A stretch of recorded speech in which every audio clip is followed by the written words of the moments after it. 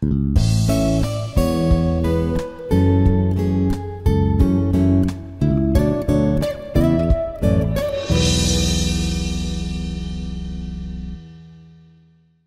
afgelope tyd is ons gekonfronteer met twee baie baie groot natuurrampe wat 'n ou absoluut in die hart gegryp het. In Marokko was daar die aardbewing gewees en uh die laaste wat ek gehoor het wat by die 3000 mense omgekom. 'n Mens dink nie eers aan die infrastruktuur wat verwoes is en alles wat daarmee saamhang nie. En dan die ontsettende gebeure in Libië uh, waar 'n dam in die water nie meer kon hou nie en uh, die laaste wat ek daar gehoor het was ongeveer 20000 mense wat verdrink het.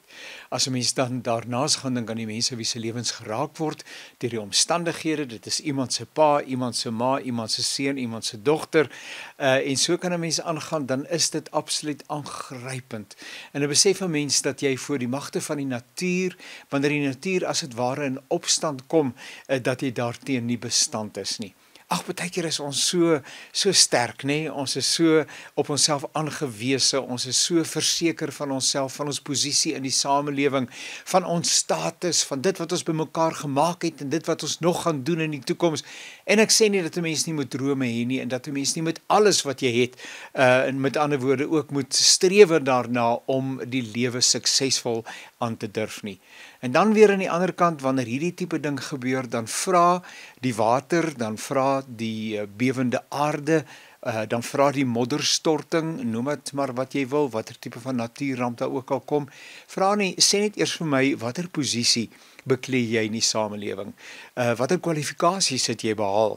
Uh waar is jy werksaam? Uh, watter taal praat jy selfs? Aan watter kultuurgroep behoort jy? Aan watter kerk behoort jy? Ensovoorts ensovoorts. Daai dinge is hoegenaamd jy word nie gekonsulteer nie. Jy word nie gevra nie. Uh dit is doodgewoon een van daardie dinge uh, wat gebeur.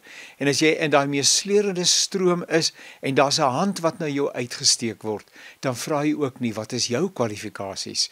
Waar werk jy? Uh wat het jy in die lewe bereik nie. Jy gryp dit eenvoudig net vas. Ai sal ons nie maar net in die tyd waarin ons lewe mekaar vasgryp nie. Ons beleef storms rondom ons. Ons het mekaar nodig. Ons het die Here nodig. Kom ons kom los van al hierdie geite, van al hierdie aanstellerigheid en ons begin mekaar raak sien as mede pelgrimsreisigers op pad na die ewigheid. Thank you